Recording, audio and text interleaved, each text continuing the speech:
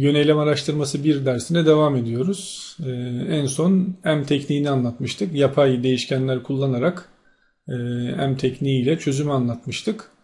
Bu haftada yine yapay değişkenler kullanarak farklı e, bir yöntemle e, çözümü anlatacağız. İki faz tekniğini, iki aşamalı yöntemi anlatacağız.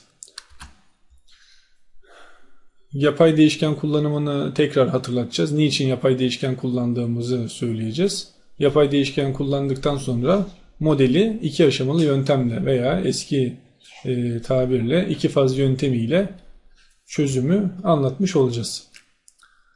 Biliyorsunuz e, tüm kısıtlar eğer küçük eşit durumundaysa biz bu modeli ne ile çözüyorduk? Primal simplex yöntemiyle çözüyorduk. Kısıtlarda bir veya daha fazla büyük eşit e, durumunda olan kısıt varsa veya eşitlik durumunda olan kısıt varsa biz bu modeli primal simplex modelle çözemiyorduk. Primal simplex yöntemle çözemiyorduk. M tekniğiyle geçen hafta çözebilmiştik. Bu haftada iki faz tekniğiyle çözümü anlatacağız. Ve yine hatırlatmak gerekir ki primal simplex'te de M tekniği veya iki aşamalı yöntemde de sağ taraf değerlerinin mutlaka ve mutlaka pozitif olması gerekiyor. Eğer sağ taraf değerleri e, pozitif değilse, negatif ise burada pozitif derken aslında non negatifi kastediyoruz. Sıfır da olabilir. Orayı e, eksik yazmış olabiliriz. Non negatif olması gerekiyor. Eğer sağ taraf değeri negatif ise e, bu sefer farklı bir yöntem kullanmamız gerekiyor. Dolayısıyla sağ taraf değerlerinin mutlaka pozitif veya sıfır olması e, kısıtlarında büyük eşit veya eşitlik durumundaysa M tekniği veya iki, iki yaşamalı yöntemi kullandığımızı söylüyoruz. Bunlardan M tekniğini geçen hafta anlattık. İki aşamalı yöntemi de bu hafta anlatacağız. İki aşamalı yöntem isminden de anlaşılıyor. İki aşamada problem çözülüyor. Modelimizi iki aşamada çözüyoruz. Birinci aşamada yapay değişkenlerin toplamından oluşan yeni bir amaç fonksiyonu tanımlıyoruz. Bu yeni amaç fonksiyonunu e, diğer kısıtlarla birlikte kullanarak çözüyoruz ve bu yeni amaç fonksiyonunun sıfır olmasını istiyoruz. Yeni amaç fonksiyonuna da R diyelim. Çünkü R büyük R1, büyük R2 kaç tane yapay değişken varsa bunlara e, R'lere yapay değişken demiştik. Minimum R küçük r eşittir r1 artı r2 artı işte kullandığımız yapay değişken sayısınca buradaki r'leri arttırıyoruz.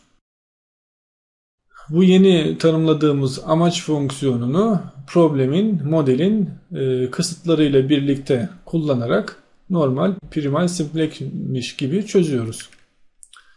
Minimum r eşittir 0 olduğunda bütün yapay değişkenlerin yani r1'in, r2'nin, r3'ün kaç tane varsa hepsinin 0'a eşit olduğu ortaya çıkar. Eğer r eşittir 0 ise birinci aşamanın nihai tablosunda r eşittir 0 ise demek ki biz neyi anlıyoruz? Burada kullandığımız r yapay değişkenlerinin her biri tek tek 0'a eşittir.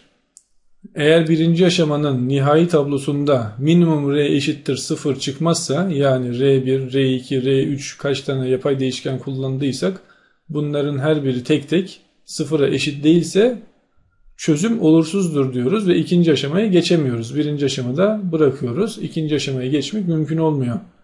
Eğer minimum r eşittir 0 çıkarsa ikinci aşamaya geçmek mümkün olabiliyor.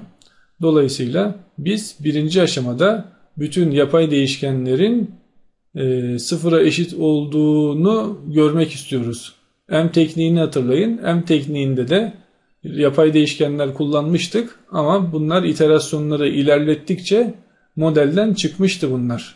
Temelde başlangıçta vardı. İterasyonları yaptıkça bu yapay değişkenler modelden çıkmışlardı. Dolayısıyla bunları e, problemi çözebilmek için yardımcı değişkenler olarak kullanıyoruz modelin içerisinde kalmasını istemiyoruz. Geçen hafta M tekniğini çözerken kullandığımız modelin aynısını e, iki faz tekniğinde iki aşamalı e, yöntemle de çözelim. Bakalım aynı sonucu verecek mi? Modelimizi hatırlayalım. Modelimiz neydi? Minimum z eşittir 4x1 artı x2 idi. Kısıtlar 3x1 artı x2 eşittir 3. 4x1 artı 3x2 büyük eşit 6, x1 artı 2x2 küçük eşit 4 diye söylemiştik. Dolayısıyla burada birinci ve ikinci kısıtın eşitlik ve büyük eşit durumunda olduğunu görüyoruz. Primal simplex'e uygun değil. Hangisiyle çözebiliriz? M tekniğiyle çözebiliriz ki geçen hafta çözdük. Bir de neyle çözebiliriz?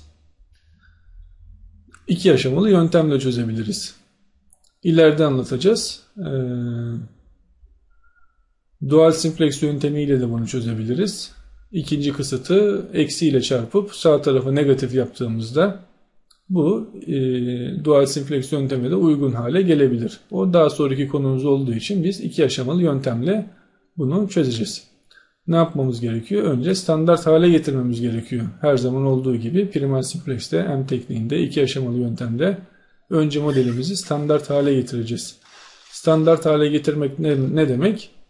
Büyük eşit ve eşit e, küçük eşit durumunda e, olan kısıtlara dolgu ve artık değişkenler eklememiz gerekiyor. Birinci kısıt zaten eşitlik durumundaydı. Ona herhangi bir şey eklemedik gördüğünüz gibi. İkinci kısıt büyük eşit durumundaydı. Büyük eşit durumunda olduğu için bundan e, sol tarafı sağ tarafa eşitleyebilmek için bir şey eksiltmemiz gerekiyor, çıkarmamız gerekiyor. Artık değişken x3 dedik ona. İkinci denklem böyle. Üçüncü denklem küçük eşit durumundaydı. Buna da dolgu değişkeni ekleyip sağ tarafa yani 4'e eşitliyoruz. Modelimizin standart hali bu. Modelimizi standart hale getirdiğimizde başlangıç tablosuna geçebilmek için başlangıç tablosunda en sağda kare matris olarak birim matrisi görmemiz gerekiyordu. Burada modele bakıyoruz. Birinci denklemden e, birim matrisi oluşturacak katsayı, bir katsayısı yok. İkinci denklemde de eksi, 3, e, eksi x3 var. Burada da birim matrisi oluşturacak herhangi bir katsayı yok. Sadece üçüncü denklemde x4'ün katsayısı artı 1 olduğu için birim matrisi bu bir eleman verebiliyor. Birinci ve ikinci denklemden birim matris için bir eleman elde edemiyoruz. Yapay değişken eklememizin de sebebi zaten buydu. Yapay değişken birinci denkleme ekliyoruz. ikinci denkleme ekliyoruz. Gördüğünüz gibi R1'in işareti artı 1 katsayısı 1. R2'nin katsayısı 1, x4'ün katsayısı 1. Dolayısıyla her üç denklemden de birim matris için birer e, eleman gelmiş oldu. Yapay değişkeni tekrar hatırlayalım. M tekniğini anlatırken söylemiştik. İki fazla da yapay değişken kullandığımız için tekrar hatırlatmakta fayda var. Yapay değişken sadece büyük eşit ve eşit tipindeki kısıtlara eklenir. Küçük eşit tipindeki kısıtı eklemeye lüzum yok. Zaten oradan artı bir katsayısıyla bir dolgu e, değişkeni geliyor. Büyük eşit ve eşit tipindeki kısıtlara dolgu değişkeni gibi davranan bir değişken ekleyemediğimiz için yapay değişken eklemek durumunda kalıyorduk. E, dolayısıyla yapay değişkeni büyük eşit ve eşit tipindeki kısıtlara ekleyeceğimizi bilmemiz gerekiyor. Dolgu değişkeni gibi davranır diye de söyledik. İşareti artıdır, artı birdir, katsayısı birdir. Başlangıç tablosunda birim matrisinin oluşmasını sağlar. Yapay değişken özetle bu şekilde. Dolayısıyla e, birinci aşama için modelimizi şu şekilde kuruyoruz.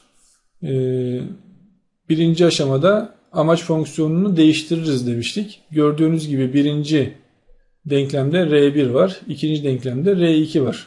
Yapay değişkenler. Kaç tane yapay değişken kullandıysak bunların toplamını amaç fonksiyonu olarak birinci aşamanın amaç fonksiyonu olarak yazıyoruz demiştik. Gördüğünüz gibi minimum R eşittir. R1 artı R2 şeklinde e, birinci aşamanın amaç fonksiyonunu değiştirdik. Buradaki e, amacımızın, niyetimizin ne olduğunu tekrar hatırlatalım. R1'in ve R2'nin sıfır olmasını sağlıyoruz birinci aşamada. Dolayısıyla e, R1 ve R2'den eşittir sıfır olacağı için kurtulmuş oluyoruz. İkinci aşamaya geçme imkanına kavuşuyoruz. Burada R1 ve R2'nin birinci denklemden ve ikinci denklemden, R2'nin de ikinci denklemden e, çekilmesi gerekiyor. Burada ne yapıyoruz? Birinci ve ikinci denklemi aldık. Gördüğünüz gibi R1'in çekilmesi demek ne demek? Biliyorsunuz ama tekrar yazalım. R1 eşittir. 3 eksi 3x1'i karşıya atıyoruz. 3x1 eksi x2 şeklinde R1'i çekmiş olduk. R2'yi de çekecek olursak aynı şekilde 6 zaten karşıdaydı. Diğerlerini de karşıya atarsak işaret değiştirecek. 4x1 eksi 3x2 artı x3 şeklinde R1 ve R2'yi çektik. Bu çektiğimiz değerleri e, birinci aşamanın amaç fonksiyonunda yerine koyuyoruz. Burada minimum R eşittir R1 artı R2 idi. Dolayısıyla minimum R'yi düzenli bir şekilde yazacak olursak burada gördüğünüz gibi 3x1 var. Altta da işte R1 artı R2 olduğuna göre bunları alt alta toplamak mümkün.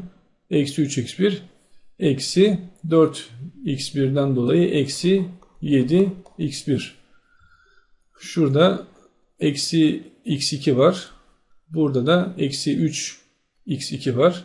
Dolayısıyla eksi 4 x2 4 x2 artı x3 şuradaydı. 3 ve 6'nın toplamı da 9 şeklinde minimum r'yi e, düzenleyebiliyoruz. r1 artı r2'yi açık halde yazdık. X1 ve x2 ve e, x cinsinden x1, x2, x3 cinsinden minimum r'yi yaz, e, yazabildik. Devam ediyoruz. Bizim yazdığımızı da üstte tekrar düzenli bir şekilde görüyoruz. Dolayısıyla minimum r eşittir. Eksi 7x1, eksi 4x2 artı x3 artı 9 şekline getirdik. Tabi başlangıç tablosuna e, bunu yerleştirirken ne yapıyoruz? Sabitleri sağ tarafa, değişkenleri, r de bir değişken gibi burada, değişkenleri sol tarafa atıyoruz. Bu bütün e, simplex yöntemlerinde aynı şekilde yapılıyor. Amaç fonksiyonunu bu hale getirip başlangıç tablosuna yerleştiriyoruz.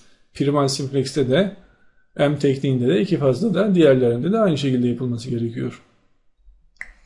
Dolayısıyla e, amaç fonksiyonunu bu şekilde düzenledik. Kısıtlarımız da e, standart hale getirilip yapay değişkenler eklendi. Artık birinci aşamanın başlangıç tablosunu oluşturmak mümkün hale geldi. Ne yapıyorduk? Oradaki katsayıları alıp tabloya yerleştiriyorduk.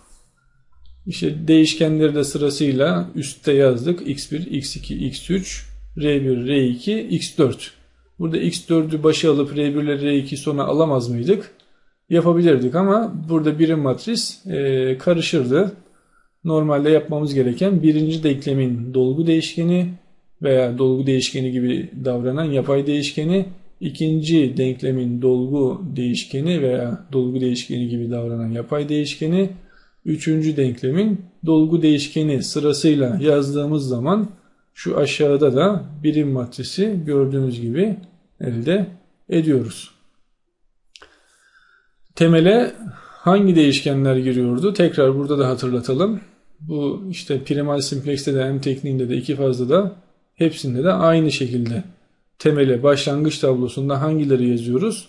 Dolgu değişkenleri veya dolgu değişkeni gibi davranan yapay değişkenleri temele yazıyoruz. Burada R1'i, R2'yi, X4'ü temele yazdık ve e, kısıt katsayılarını da tablonun içerisine koyduk. Sağ taraf değerlerini de yazdık.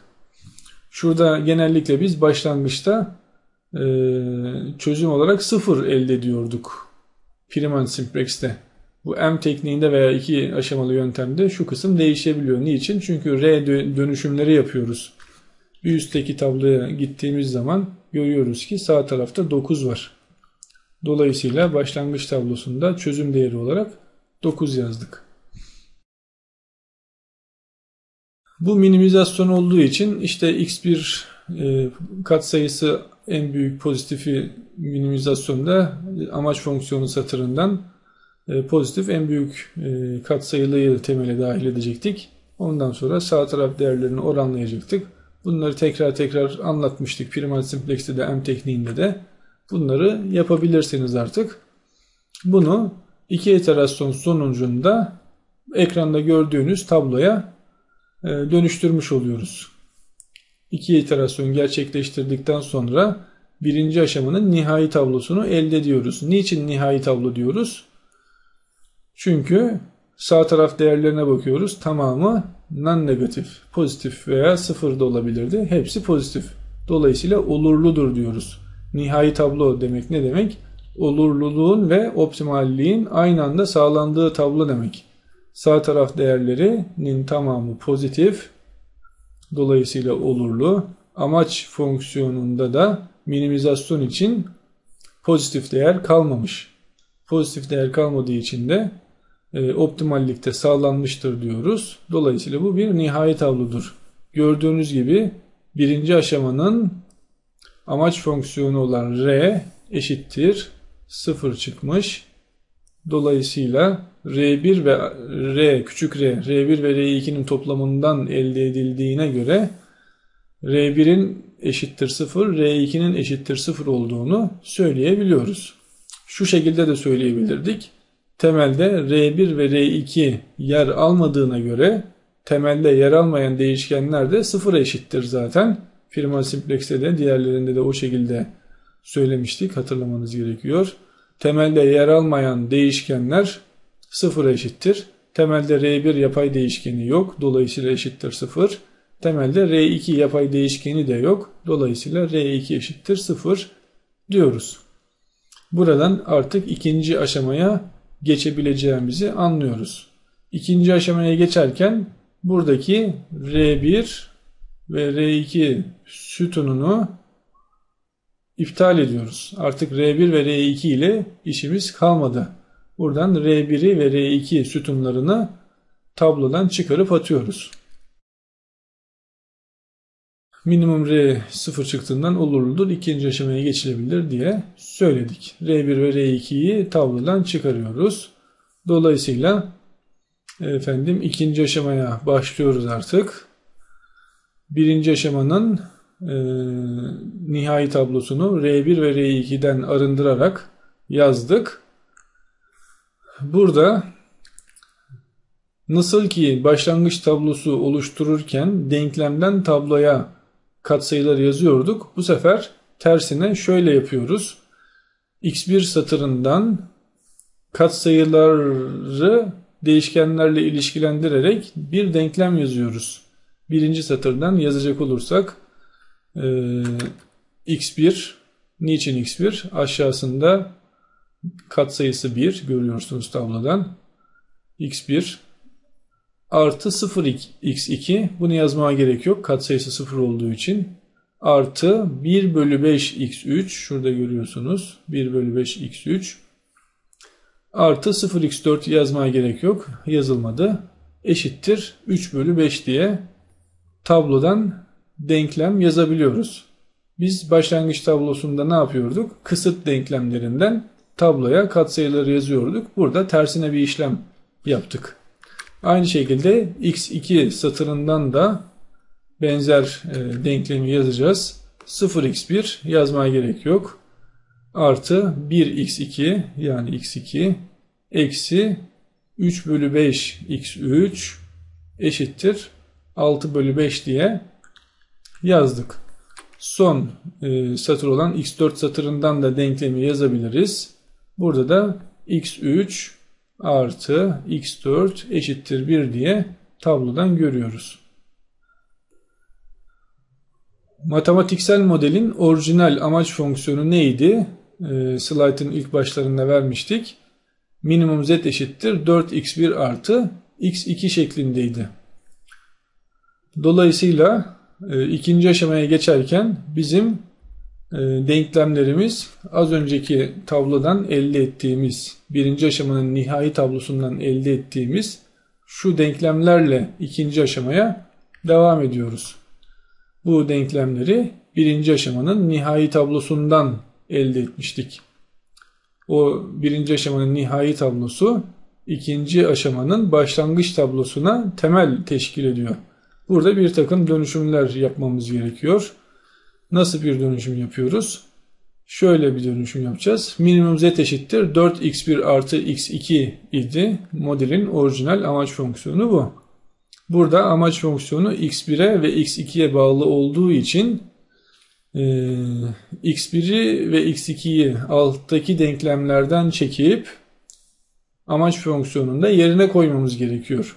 Birinci denklemden x1'i çektik gördüğünüz gibi.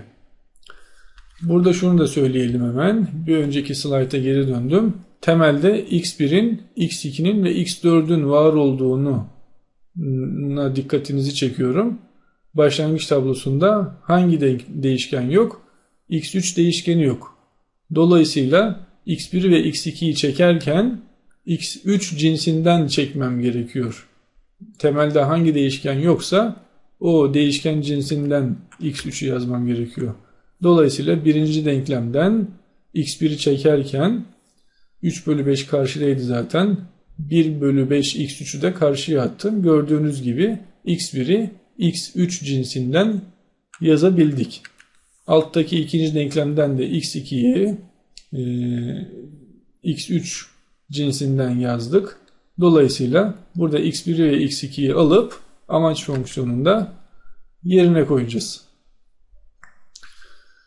Evet biz de işlemi yapabilelim. z eşittir. 4x1 dediğine göre e, x1'i 4 ile çarparak yazıyorum ben doğrudan. 4 kere 3 12 bölü 5 eksi 4 bölü 5 x3 artı x2 dediğine göre artı 6 bölü 5 artı 3 bölü 5 x3 diye z'yi yazabiliyoruz. Z'i toparlayacak olursak 4 bölü 5 x3 3 bölü 5 x3 dolayısıyla eksi 1 bölü 5 x3 12 bölü 5 6 bölü 5 artı 18 bölü 5 diye yazabiliyoruz. Evet gördüğünüz gibi e, ikinci aşamaya geçerken modelimizi düzenledik. Amaç fonksiyonumuzu x3 cinsinden yazdık.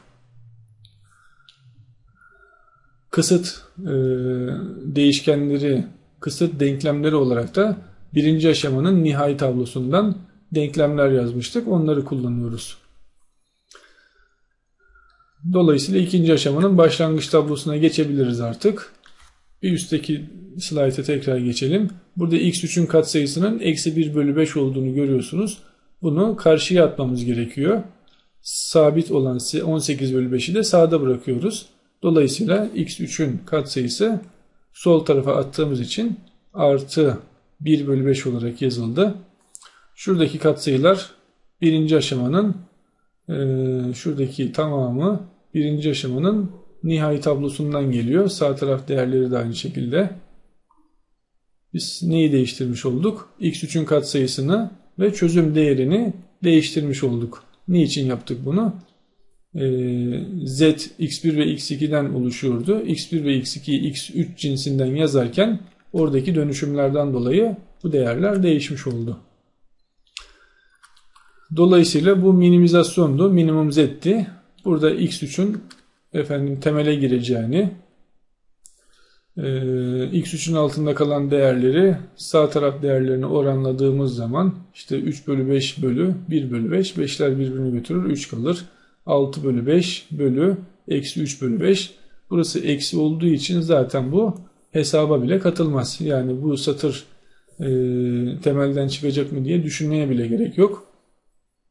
Burada da 1 bölü 1'den dolayı oran 1 oldu dolayısıyla en küçük oran 1 olduğu için x4 temelden çıkacak yerine x3 girecek diye anlıyoruz. Satır işlemleri eski bildiğimiz işlemler aynısını yapıyoruz.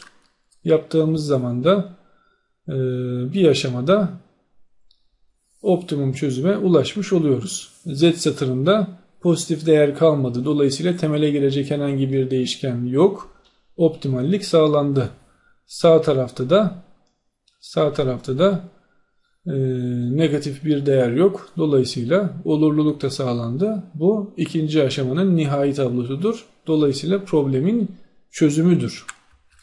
Nihai çözüm nedir? Z eşittir 17 bölü 5. X1 eşittir 2 bölü 5. X2 eşittir 9 bölü 5 olarak söyleyebiliyoruz. Bu çözümün aynısını M tekniğini anlatırken de elde etmiştik hatırlayın. Dolayısıyla eğer modelde eşitlik veya büyük eşit durumunda olan kısıtlar varsa ne yapmamız gerekiyor? M tekniğini veya iki aşamalı yöntemi kullanmamız gerekiyor diye hatırlatıyoruz. İki aşamalı yöntemi kullanarak modelimizi çözdük ve sonuca ulaştık.